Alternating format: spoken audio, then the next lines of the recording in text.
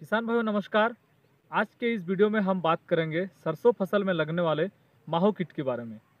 सरसों में लगने वाले माहो कीट बहुत ही महत्वपूर्ण कीट है, क्योंकि अगर इसका प्रकोप ज़्यादा हो तो यह 50 प्रतिशत फ़सल को नुकसान पहुँचा सकता है। जी हाँ किसान भाइयों, इस वीडियो में हम बात करेंगे सबसे पहले सरसों में लगने वाले माहो कीट का क्या पहचान है। दूसरे नंबर पर हम बात करेंगे, यह कीट फ़सल को किस तरह से नुकसान पहुंचाता है। और तीसरे नंबर पर हम बात करेंगे इस कीट को नियंत्रण करने के हमारे पास क्या क्या उपाय है और इसमें हम कौन कौन सा कीटनाशक का प्रयोग कर सकते हैं।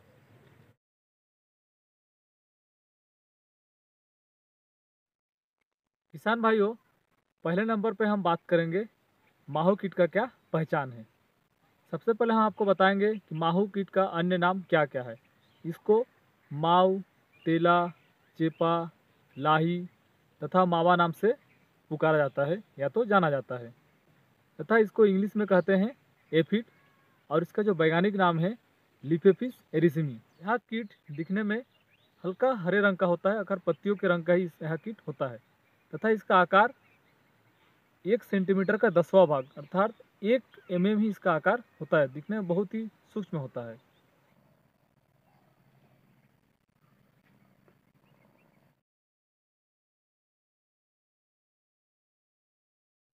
किसान भाइयों, अब हम बात करेंगे दूसरे नंबर पे और जिसमें हम आपको बताएँगे यह कीट फ़सलों में किस तरह से नुकसान पहुंचाता है। सरसों का जो माहू कीट है, यह नवंबर महीने के अंतिम सप्ताह और दिसंबर के प्रथम सप्ताह के बीच में इसका प्रकोप दिखना शुरू हो जाता है। जैसे जैसे आपका समय बढ़ते जाएगा, इसका प्रकोप उसी तरह से बढ़ते जाता है। खासकर जब आसमान में बादल छाए रहे और फुहार पड़ने लगे तथा ठंडी ठंडी हवा चले, उसी समय इसका प्रकोप बहुत ज़्यादा होता है और यह फ़सलों को बहुत ज़्यादा नुकसान पहुंचाता है। यह जो कीट है, यह दो प्रकार का होता है। एक जो सीधा बच्चा देती है तथा दूसरा जो अंडा देती है। मैदानी भागों में जो माहू है, यह सीधा बच्चा देती है और पहाड़ी भागों में अंडा देती है। मैदानी भागों में इसका प्रकोप इसलिए ज़्यादा देखा जाता है, क्योंकि इसके सीधे बच्चा देने से इसका जो पीढ़ी है एक के बाद एक बढ़ते रहता है। जैसे आज अगर बच्चा दी तो यह एक हफ़्ते में बढ़कर फिर से खुद वह बच्चा देना शुरू कर देती है। इस प्रकार एक के बाद एक इसका पीढ़ी आने लगता है और फ़सलों को यह नुकसान पहुंचाता है। यह जो कीट है, यह पौधे के जितने कोमल भाग है, जैसे कि फूल, पत्ती, तना तथा इसके फली, इस जगह पर बैठ के एक झुंड में यह बैठता है। बैठने के बाद क्या होता है, उस जगह का रस को चूसता है। इस प्रकार रस चूसने के बाद क्या होता है कि पतिया या इसके तर, कोमल तने सूख कर धीरे धीरे पीला पड़ने लगती है और जिससे पौधे मर जाते हैं। एफिड के आक्रमण से एक नुकसान और होता है कि यह मधु का स्राव करता है जिसमें कि ब्लैक फंगस का अटैक होता है और जो फ़सलों को नुकसान पहुंचाता है। सरसों फ़सल का जो माहू कीट है इसका और चीटी का इसका बहुत ही एक घनिष्ठ संबंध है इस फ़सल में। इसमें यह होता है कि जो माहू है, वह फ़सलों में रस चूसकर मधु स्राव करता है। और जो चीटी है, उस मधु को खाने के लिए उस जगह पे आता है।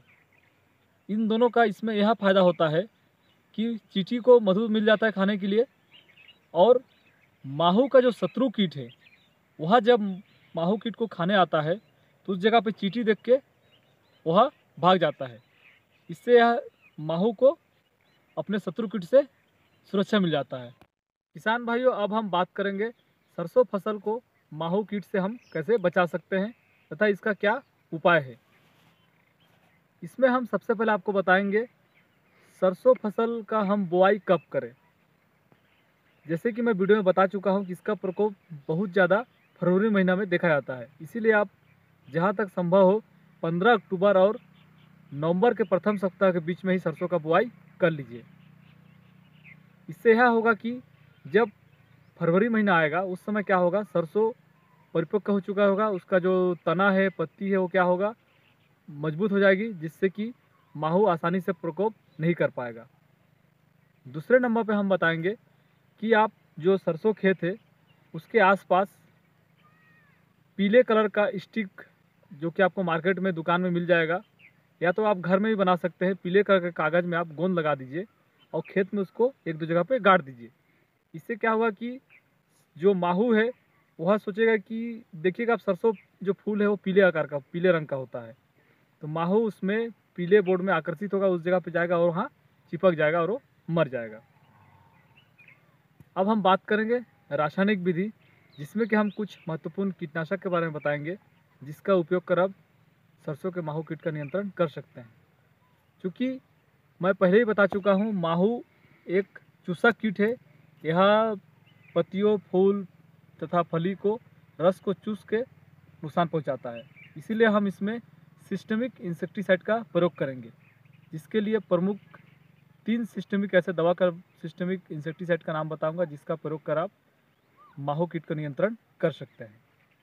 जिसमें पहला दवा है इमिडाक्लोप्रिड सत्रह दशमलव आठ प्रतिशत एस इसे 20 एम प्रति टन के हिसाब से पानी में घोलकर स्प्रे करना है। यह दवा बाज़ार में कॉन्फिडोर, मीडा, इमिडासोल, इमिडा प्लस रिकमिडा आदि नाम से मिल जाएगा। दूसरे नंबर पे जो दवा है थाइमेथोक्सेम 25 प्रतिशत डब्ल्यू इसे 6 ग्राम प्रति टंकी हिसाब से पानी में घोलकर स्प्रे करना है। यह दवा बाज़ार में एक्ट्रा, एरेबा, ओटारा थाइमेक्सा नाम से मिल जाएगा। तीसरे नंबर पे जो दवा है, फिप्रोनिल 80 प्रतिशत डब्ल्यू इसे चार ग्राम प्रति टन के हिसाब से पानी में घोलकर स्प्रे करना है। यह दवा बाज़ार में जम हुटर, जम्बो, डिफेंड, फिट, फिप्टोरा, अस्सी इत्यादि नाम से मिल जाएगा। किसान भाइयों, इन तीनों दवाओं में से आप जो भी दवा बाज़ार में उपलब्ध हो, किसी एक दवा को लेकर सरसों फ़सल में माहू के लिए स्प्रे कर सकते हैं। इससे आपको असरकारक परिणाम मिलेगा।